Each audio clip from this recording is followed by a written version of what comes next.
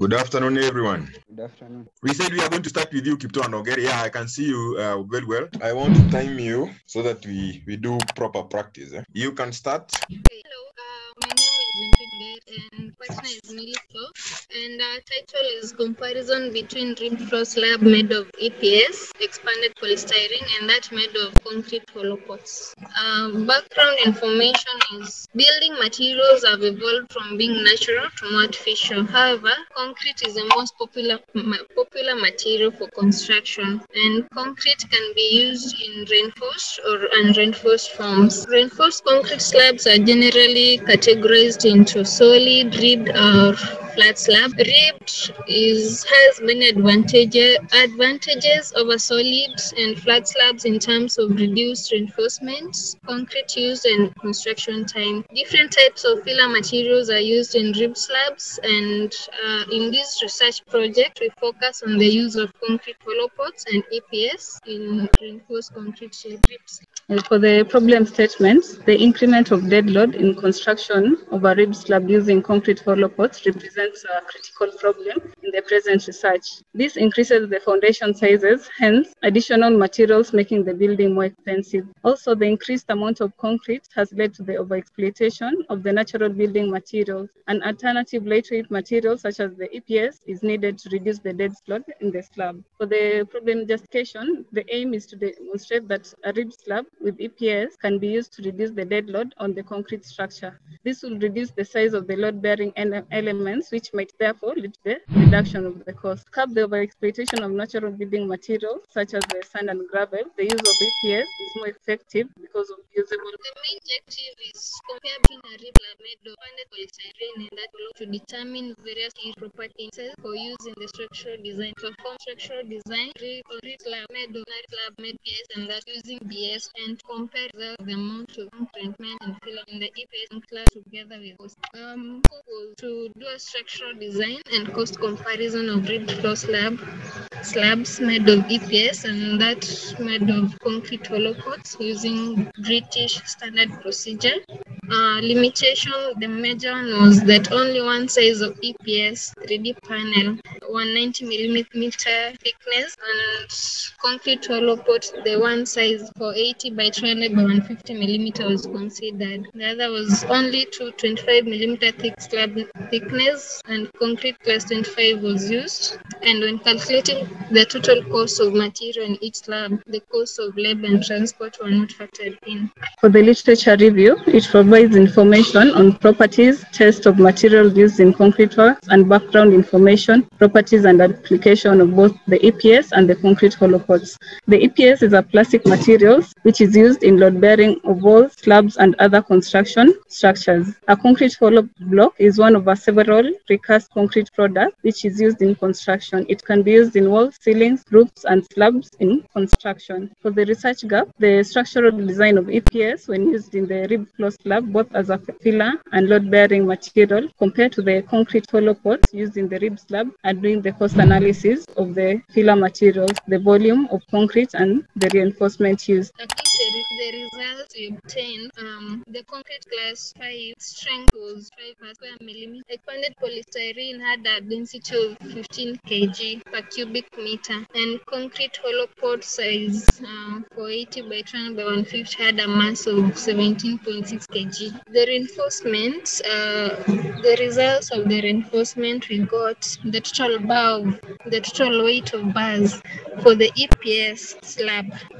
the mass uh, of EPS, the total weight of bars for EPS, for EPS, the total kg, the total mass was 159 kgs, and its total cost was roughly 32,500. And total weight of bars in a concrete hollow pot slab was 197 kgs, and its approximate cost was 35,500. And as filler materials, EPS in when used in a slab, the total amount of EPS for the whole slab, the area required was 24.9 square meters, and uh, its total cost was 50,700 Kenya shillings. And uh, hollow pots, the amount, the number of hollow pots required for the whole slab was uh, 189 pots. And that total cost came to 18,900 Kenya shillings. The volume of concrete of EPS slab, the volume of concrete was 2.84 cubic meter, and its total cost came to 26,400. The volume of concrete uh, in hollow slab was 3.37 cubic meter, and uh, the total cost was 31,300. The cost of concrete in the rib slab with the EPS was slightly less than that of the concrete hollow pots by 15.7% as shown in bar 1 and the cost of reinforcement bars for the EPS slab was lower by 8.4 8.4% as shown in the second bars because the dead load of the EPS was less than that of the hollow pots. However, the cost of the EPS panels as the filler material was higher by 62.8% than that of the concrete hollow pot as shown by the third bar in the chart and for the formwork the slabs were the same because of the area and thickness of the were the same. In conclusion, the overall cost of using EPS was 112,000 while that of using concrete hollow was 87,000. Generally, using EPS in slab proved to be more expensive by 22.6% because of the buying price of the EPS panels uh, in the market. This study aimed to demonstrate that the rib slab with EPS will be used to reduce the dead load on the rib slab structure. And according to the design loads obtained from the research methodology, this was proven to be true. However, due to the high cost of EPS panels, the building may be more expensive. Um, design and build of less filler materials lab lab recommended no overall loading and cost. The calculation labor charge in, in that. Thank you. All right, a few questions, eh? a few observations. Just Okay. just go to your slides. Yeah, yeah. The first, uh, uh, first I give you the general observation. Then uh, I'm more interested on the results. But uh, before that, well, what do I say about this presentation in terms of the, the quality? Because like if you look at this slide, the background information, uh, it's still too wordy. Yeah. What you have done here, you are lucky because now this is virtual presentation. So I'm using my screen. So the visibility is based on the screen that I have. If I have a bigger screen, you know, I can still be able to see. But now if I'm looking at this, if you project, if you are doing in our room at TMB 033, if you project this, uh, the font size is small, or even you go to a bigger conference hall, you know, you are, you are doing practice not only for today, but even in the future. So this font size, this is about 14, 14 or 16. Yeah. So it makes you have a lot of material uh, information in one slide. But um, in PowerPoint, and I keep uh, repeating this, is graphical. And uh, if you don't have, uh, gra- I mean, uh, figures, graph- graphical meaning is illustrations, figures, tables, graphs. So if you don't have that, then if you have to write something text, it should be point, bullet point. So it's not like um, like I wonder in a PowerPoint presentation when you have, however, concrete is the most popular material for many construction application. Why don't you just have bullets saying popularity of concrete, and then the rest you can speak about it? Yeah, because when you project something like this, your your viewers tend to read. You know, this is a presentation, it's not a report. We have your report. I tend to read, and when I start reading, I cannot listen to you carefully. So if I don't listen to you carefully, I don't know. I'll ask questions which maybe you explained. But if you only have, for example, if you go to the slide, go to the slide on um, result and discussion discussion of the results eh? like here okay this this presentation. Well i although i don't give it 100 percent i think this slide and the next are the one i can give the highest marks. Because this one the mistake you did is that you have the okay let's stick to this one. And uh, one thing by the way you should note eh? reference. Reference is very important. And one thing of reference reference is like how do i know which page is this? It's page numbers. Okay. yesterday yeah uh, not yesterday last week there is a guy this guy Kafusha and moses I, they had to print a whole document because it didn't have page numbers. It's a basic thing but how do i tell you which page i am in? How do i re- reference your work okay like here you know you spoke things which are not written. That is what you call a presentation. You you are talking although you are just presenting results you are not discussing them but you say the strength of material. You talked about that. So i'm just looking at this table and i see a figure. Then i want to hear you tell me more about that yeah? If you go to the next uh, slide eh? this slide the text you have at the right hand uh, this is the left hand side should not be there. If they should be there they should be point form saying for example cost reduction 15% then you explain to us in the graph. Because whatever you have written here is what you are reading to explain the graph. Well we put points eh, so that uh, point form does not mean it's a sentence with the bullet. It means it's just a key word which will help you. I know during presentation, of course, eh, you need something to tell you what to speak next, right? Yeah. So in, that's why I'm saying if you have to put some point, if you have to put something here, can you see my casa? Maybe maybe you cannot see because uh, yeah, you are the one on the other side. But like the first sentence, it, it should be just like cost of concrete or read down by 15%. Then you explain to us in the graph. You show at that thread. Don't don't put those these complete sentences. This slide can be improved at least compared to others your other of your slides. Eh? It's better, but it can still be improved. Just have uh, bullet point. Then uh, go back to your results and discussion before I go to the overall presentation style. Uh, are these results related? To these tables: strength of materials, film materials, reinforcement, volume of concrete. I mean, I'm trying to understand why they had to be squeezed in one uh, slide. They, they, they are different results from the same design of a rib slab. Like, like when you are explaining table one, eh? Let me call Yeah. it table one, strength of materials, eh? Yeah. Do you do we need to see filler materials, the uh, cost? Because the other table is talking about the cost. Do we need to see that? No, it's not a must. Then, then uh, in my own thinking, you, th- these are too many tables in one. In future, for example, now we can see it, but in future, instead of co- condensing, I know you are trying to reduce the slide, but having many slide does not mean if, for example, you have just one slide of strength of materials, Yeah. it will remove you, it will remove the clutter because we are very interested in this result. So first of all, it will help you to uh, exhaust us on that area. You tell us exhaustively without looking at the other tables. eh? Yes. So you- this one you can split to two or three or four tables or four, four, four slides, all two two slides. And Okay. if they are they are not related, then uh, that even makes it more convincing to split them. Again, uh, well, of course, I've seen you have chosen to do result presentation, then you do discussion later. Well, it's, Yeah. it's, it's one style. I, I agree. We we have different styles, but usually I prefer result and discussion together so that you show us the strength of materials. Because by presenting the results themselves and then going to a page on discussion, Mm. you combine so many things. Because this is how the, the- it should be. You are trying to address some objective. You have three objectives. So the first result should be based on the first objective. You should be uh, addressing first objective. Same case with the methodology. The first methodology is the first objective. If it was on the materials, so that you come to result. The first result is on uh, objectives, right? Yes. Objective number one. Then the same case when you go to discussion of the result, it's on one objective, on the first objective. That is, they follow that format. They not be mixed up. That's why I always say, eh, okay, this might be the new style in the department, but uh, and, and at this stage maybe I might not change you so much. Eh? But I hope you understand what I'm saying because if you present just all of them there, then I say which are the results for objective three? Which how what what did you find out in objective number three? Okay. What were the results? What was the tendency? It might be difficult to to pinpoint out clearly. But for now, let's just separate at least a little bit. Let's have just maybe two tables eh, at most. Then uh, Okay. you can be able to explain that. Then uh, next page on result. Next page. Eh? Uh, we are looking at more results because this is the key thing, the final project. Yes. because next page eh, the next slide you are going to draw conclusions all right so before you can make these conclusions eh, like for example we are saying uh, however the last one however due to the high cost of eps panel the building may be expensive. We really need to have a, a, a, a little bit depth to to quantify that. I don't know whether you get me.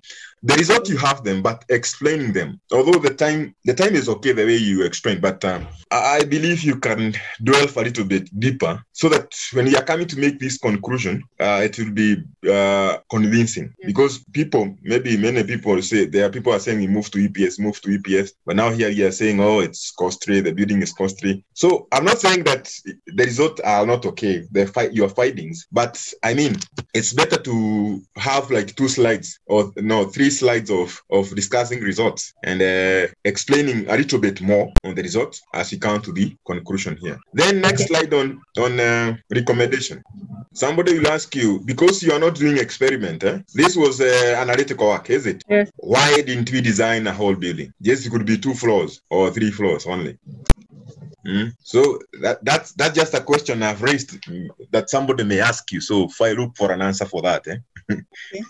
you can defend yourself on in terms of the scope, but uh, then somebody will, will want because as, as of- as of now, if if you're doing some experiment, maybe testing a slab, somebody may think the the, the scope is wide, uh, but at this stage you really need to come out clearly. Okay. Yeah. So, uh, and then uh, overall, improve on background information. You have got length the sentence is two word summarize. Number two, use graphics. And I'm going to give you an example so that you understand what I'm saying. Yes. Then problem statement. You are saying increment of dead load using the critical. Oh, yeah, yeah, I was saying, uh-huh, I, I didn't see the cost here. And what about this? Oh, it's at the. I thought because you're adding with the dead load, it should be like the because the significance of reducing the dead load. If a building reduces the dead load, what does it mean? Overall, what are we trying to do? So the reduction of cost. I think should be at the towards the end. Eh? Okay. Uh, maybe just uh, so. The, I mean, the flow. I'm looking at the flow, flow of the information. What What is your problem now? Is the the the normal the using the concrete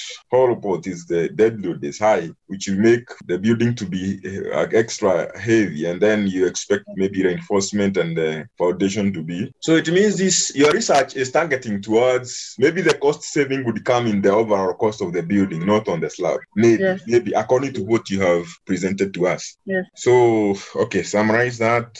Basically, summarize your slides, right? Reducing and problem statement. Result, results. Try to explain a little bit more so that the conclusion will start out clearly. Okay. This one you have agreed you split. Yes. All right. So, can you make me a host? I want to show you something. So, are the other guys following? Okay, we are following. Can Yes. you see a certain uh, document I have uploaded? Yes. So this is what I'm telling you. Look at this. This is a paper I presented uh, in Japan eh, last year. So I just want to give you a highlight. This is how your document, your Word document look like. You have the topic, you have the abstract and all that. You have the introduction. You can see I don't have any figures here, right? And uh, for example, these numbers represent, this is my reference style. This is the standard that that paper was using. Eh? So can you see that? Yes. So these are the papers that I was referring to. So those papers have got figures. So you see, up to where you have experimental procedure, this is, this is like materials and methods. Eh? So the introduction, all of it, there's no figure. Now let's uh, let's let's uh, have a new share. You see my PowerPoint. I have shared the PowerPoint. Yes.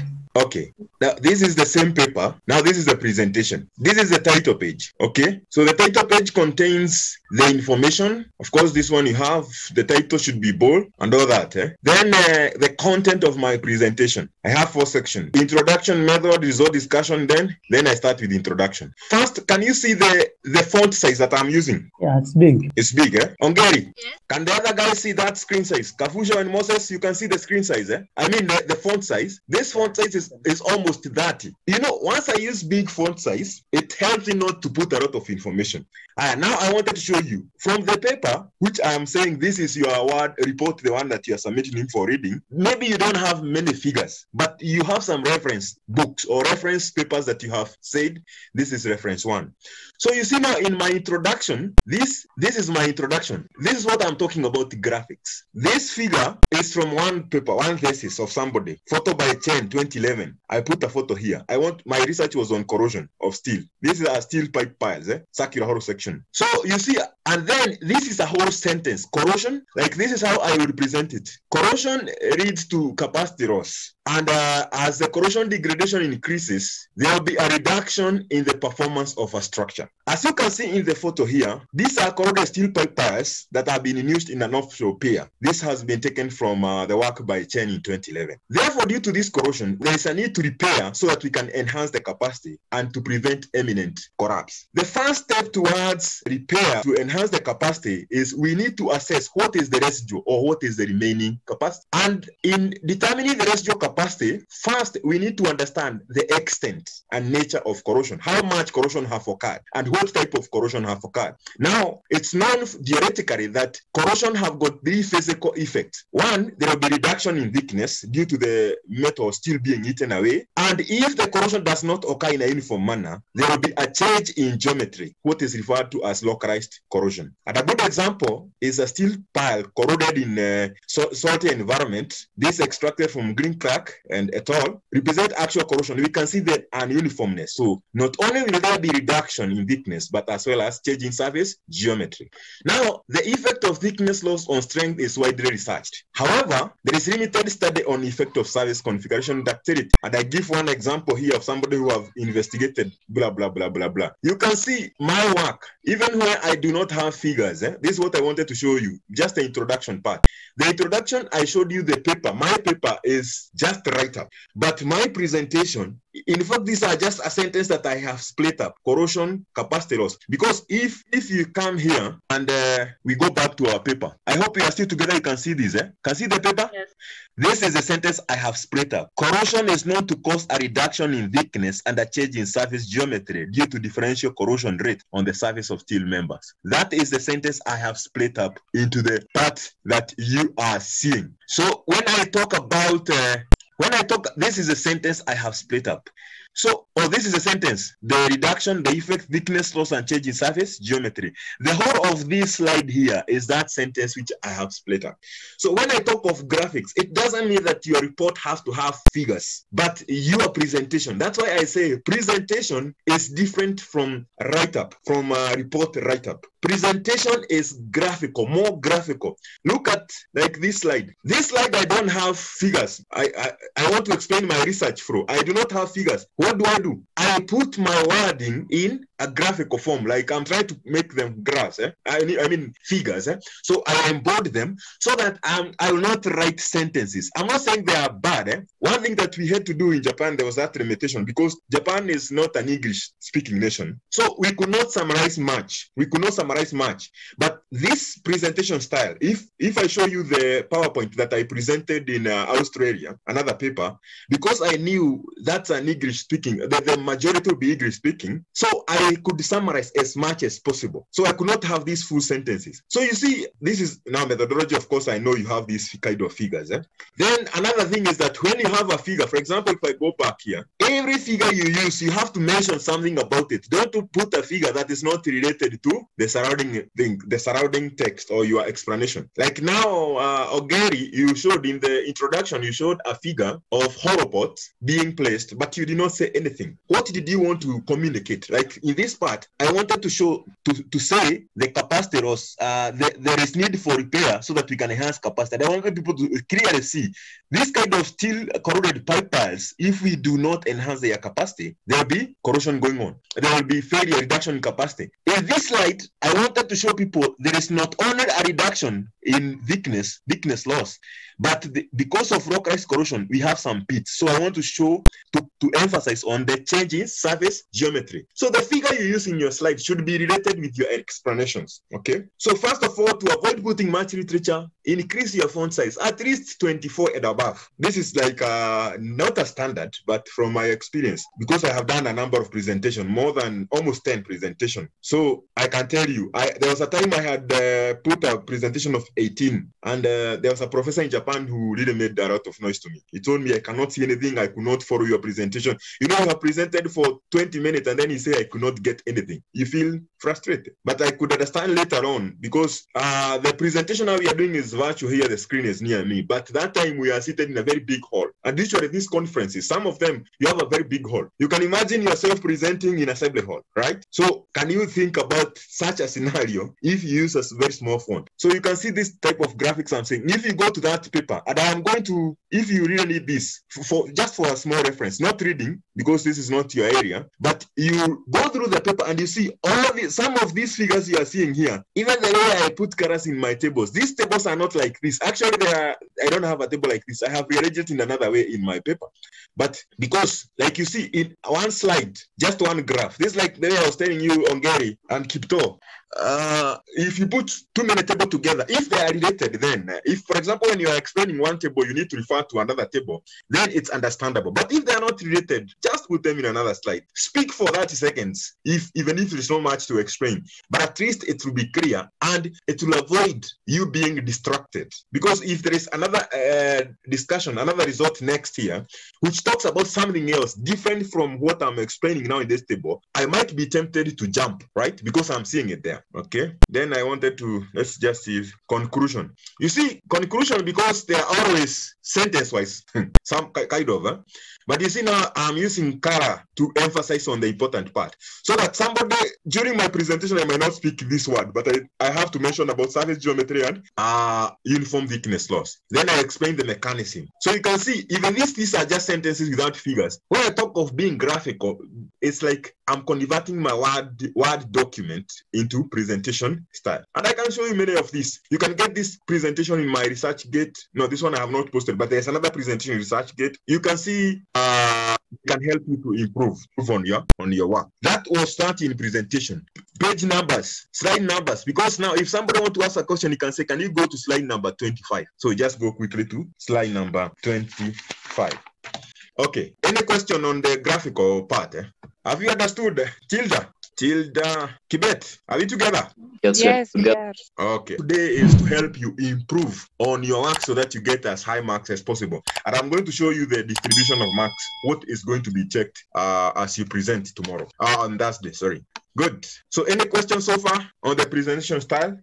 Hello. Yes, Abdi. Uh, I'm asking if uh, in the abstract, if we need to include the part of abstracts in the slides. No, no, no, no, no. Because Okay. eh, Yes. yeah, I have seen people. That's why I have good. That's why people. I always say PowerPoint is not the the document. It's not the report. Okay. The the introduction part that you have is enough. Remember, abstract is the summary of your research, right? Okay. But in the presentation, if you are going to put abstract, it means you are going to tell us the results and the discussion and the summary results in the first slide. That's why it's never put there in PowerPoint. But in the Word document, somebody scanning your document would like to see what were the outcomes of this research. That's why it's there in the Word document. But in our presentation, you, we want you to guide us until to come to the end. Generally, introduction, say background, then uh, we have now problem statement. Is it meant a justification? Well, I'm saying this one you can put together, you can split. You see already font 24 is very small. Yes. Then, uh, then objectives. Eh? Then uh, sometimes you, there are people who have hypothesis, or then we can have scope limitation. Put this one together. Then literature review. Then methodology. And in the literature review, make sure you show us the research gap. Then methodology is uh, uh, materials and method. You can have other terms. Then we have results and uh, and discussion and conclusion and recommendation. So as a general guide, of course, uh, I like the research with uh, Ogeri because the slides are not too many. So, but I also said the number of slides does not. Although we give us as a guide, eh, but uh, the number of slides should not limit you. But as a student, because I know if we put more slides, you are going to speak around them. That's why 12, 15, maximum 20, maximum at the high end. That's my experience. If you move faster, maybe you can have more than that. But again, if you move full too quickly, sometimes people might not uh, get you well. But if you do not put a lot of uh, unnecessary information in your slides, then I can guarantee you, you can be able to speak even for 20 seconds or 30 seconds in each slide. Now, this is what something I want to highlight to you. Maybe you have never known this. Eh? There is the examination for the final project. This examination, we look at uh, ITO, ITO, problem statement, and uh, objectives. This one you should take it very care, very seriously. I believe it's no harm telling you what we examine. Now, what we are looking at here is the clarity in your title. Let me not write that. You can write from your side. We are looking at what is the clarity of your title. From your introduction, does the problem come out clearly? Objectives, are your objectives? You can see that in one sentence. Are, are your objectives related to your title? We are looking at the clarity. Have your problem come out clearly? Have people understood what you are talking about? And in this part, we are going to award you 15%, right? And come to literature review. This one you have to be very careful because again you can talk a lot. But literature review is the literature that is related to your objectives. For example, if you're instructors, and all of us are instructors, and um, most of us are doing materials, anybody is might be handling or might be dealing with concrete, with cement.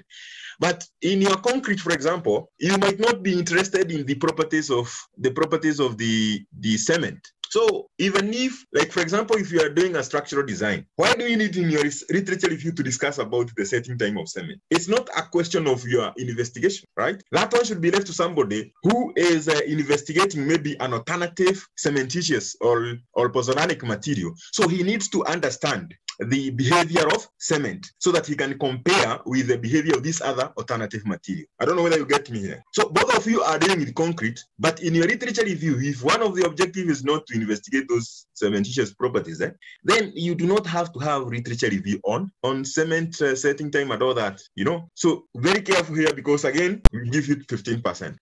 So to me, literature review for student, two slides, maximum three. If you start going to four slides, then you are telling us too much. But to be able to capture that, because one slide is on research gap. And uh, Ongeri, your presentation, I have remembered, I have not seen research gap because research gap is based on empirical literature. It's based on previous researchers' work. So you need to summarize. I don't know whether in my one of my presentation, I don't know. I wish I wish I could be able to show what was the gap. Yes, let me let me just sh- share. Let me just. Uh, I don't want to share this, so I want to this slide so that I can share them here.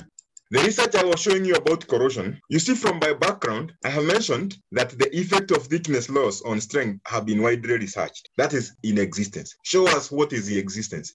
However, there have been limited study. So I do not try to show that there is nothing that have been done. So I, I say there have been limited study. And I give one example of some research, researcher by this person and what he found, right? So I have shown you there have been limited studies. Now, now here I come and clarify. I say that the effect of surface roughness, maybe you know you not understand this, eh? but I'm clarifying the point, this part I have pointed out. Then this is a gap, eh? limited studies. Then uh, this is justification. I say because of unevenness, there will be stress concentration. You know the notch effect from physics. So I want to show that there will be the issue of stress concentration. So although in uh, Japan, you know, the, of course, every institution have got different styles. So we did not have the issues of problem statement, justification, and all that. But from your background, because all this flows from your background, we need to see whether the problem have come out very clearly, including this justification, which now I'm calling objective here. This was my objective to investigate the effect of surface roughness on tensile ductility. So this is the part I'm mentioning here about, oh yeah, I had explained about problems with justification because this one flows from the introduction. Okay, literature review, I have said that only literature that is related or relevant to your objective. Then uh, the third part that we're going to invest or to check is materials method, eh? methodology. In this part, eh, this is very important because we give you 20%. What we are checking in material and method is novelty, novelty, you know novelty, eh? and I know you have ever heard of this word. Always being asked, what is new? Newness of your research. What is new in your research? What new concept? What new idea? What new addition? It doesn't have to be much. Research, unless you are you are advanced researcher, you know, you have you are more experienced. Usually our research are just a small bridge gap that we are adding towards the body of knowledge. So we really need to see. Like now, Ongeri, if I come back to you, somebody will ask you, yeah, and I don't know whether now you can be able to answer this question. Have people so that this material EPS can be adopted in construction? Of course, there have been studies that have been done to investigate the effectiveness, the cost, and all that, which should be shown in your research. We should see that in the in the in the background information. We should see researcher people who try to because it have been done. For your case, don't hide information assuming people not know. Like you have a very big big research area to investigate. No, no, no, no tell us this and this have been, investigated up to this level. So even if sometimes even at undergraduate, we can allow you to do research of confirmation or replication studies. Maybe it was done. Maybe the research uh, is not conclusive or the results are not uh, very harmonized. You say we want to check. Yeah. So what is that new idea? What is that new? If it's not totally new, tell us this is a confirmatory study, are replication studies, or this is the cost. What have been done by this researcher? I didn't know you do not defend just from your thought, uh, your thinking. Eh? You have to defend based on what you found from literature. So you say these researchers uh, investigated A and B. Now for us, we just want this small part to see what's happening. So we also want to see this materials the relevance. Relevance. Is the research relevant? I mean, whatever you are doing, eh? again, even if you are saying is uh, replicatory studies, eh? if you do something which is already known and well established, then um, it, it might not be that necessary. Then the relevance in terms of you might be trying to investigate, for example, for now, for now in Kenya, if you start investigating construction using gold, you might get good results, but is it relevant considering the cost, uh, the cost implication of gold, the scarcity? You can do research saying you recycle money, the, the money that was drawn, the money that was, was, expired, eh, the old currency. You say you want to use them in concrete or to do something, but relevance now, uh, how are you going to get all that? Uh, that adequate amount of, of those papers. Again, the registration, can you be allowed to do that? Is it relevant research? Or are you just going to get some beautiful result and then nothing can be done on them? Because, you know, ultimately what you're trying to do is solve a certain problem and assuming that if you have uh, willingness from the industry players, then your research to be implemented. That's your focus. That's your ultimate goal. Like, for example, in Japan, you know, that's why I realized we are quite a bit behind in terms of uh, development from first world countries. Because in Japan, you are in the lab, you are doing research. That research is being funded by people in the field. So they come to the lab to check the student. They want result because they are waiting to do that result, that output. The outcome of your in- investigation, they want to implement it on field, right? So anyway, on. Then the other thing is completeness. How complete is your discussion, right? Because you can just show tables, eh? then you conclude something, but your explanation or your result were not complete. First, completeness is completeness of the data itself. Like you draw conclusion, but you did not do investigation on that, right? So the results are not complete. The other thing is that you could have tables, but the discussion is not complete. I mean, uh, not complete. Oh, sorry. This is materials and method. In method, you are saying the method that you are telling us you are going to use, they are incomplete, such that the result or the objective you are trying to address and the result that you are presenting, they cannot be achieved by those method that you are suggesting. The method is incomplete. So we assume we can think this person just copied from somewhere. So your method should be flowing in such a manner that this method is helping address objective one to give us this result. We discuss them like this, and this is our conclusion. And we have been able to address that or to investigate that uh, that ob- objective or to address that objective because the method we used was was complete. It could help us reach the end goal. So again, here, yeah, I told you this 20 marks. So you can see materials and method, uh, a lot of marks. Then uh, on number four, we check on data analysis and discussion. Data analysis and discussion. So now here again, we want to see how did you interpret your data, or have you just stated given us figures and then no proper discussion? So we are looking at interpretation and completeness. Yeah, and again, this one given 20%. You can see materials and method, data analysis and discussion, the marks. That's where the back lies. And in conclusion, conclusion and recommendation, again, this one we give it uh, 15 marks. Remember, this one's conclusion are based on your results. And conclusion should follow. Like conclusion one should be you are concluding the result of objective one. Conclusion two, objective two, the conclusion of those results. Okay. So it's like uh, if I can draw something like this. Hope you are still together. You know I'm on my screen. Eh? You can still hear me? Somebody confirm? I cannot see your faces. Yes. yeah. All right. So this is uh, objective. This is how the workflow should be. Objective number one. This is literature review. Literature review. So this is literature review. Then we have methodology, results, discussion, and then uh, conclusion and recommendation. Eh? So what we are saying is that objective one is like, and this why now sometimes during your progress presentation we ask you what percentage have you covered? Because if you have three objective, you know each objective is around 33%. Now, if in that 3% you have five or four section that you're handling and you have covered two, then uh, we can easily say maybe you have you are about 22%. Okay. So literature review, the first part should be addressing objective one. Okay, in literature they might be tied a little bit if because the objective are tied, but let the, don't start with the literature review of the last object. Methodology like that. Discussion, result, that is the flow. Going like this and downwards, right? Then uh, there is this part that should be careful. Those people lose marks. This is the quality of presentation. Now, in the quality of presentation, we are looking at a number of things. So here we look at, so here first we look at the mastery. Have you mastered your content? When you start reading your PowerPoint, then uh, I was to give you five marks or four marks, and because overall the quality of presentation is given 15 marks. You can see here you can lose a lot of marks. And you know, these are three units. Eh? These are two units. The other one was in the first semester. So mastery, have you mastered your work? So practice, practice your work. And if you practice, that's when now you'll be able to, to stop reading. You'll be able to summarize your PowerPoint because already you have understood the content. So you'll be able to uh, summarize your content and then just have point form. Like now, this is like a presentation I can show you. Quality of presentation, mastery. I don't have to talk much about that. I just come here and I say credibility. Then I come again, I say aiming, then defense. You see, now with this, eh, So this could be um, my presentation style. If I have mastered, if I have mastered my work, I don't need to start writing full sentence what mastery means. So mastery I can explain to people. This means that I have understood the content and I can explain it in my head. I have internalized it.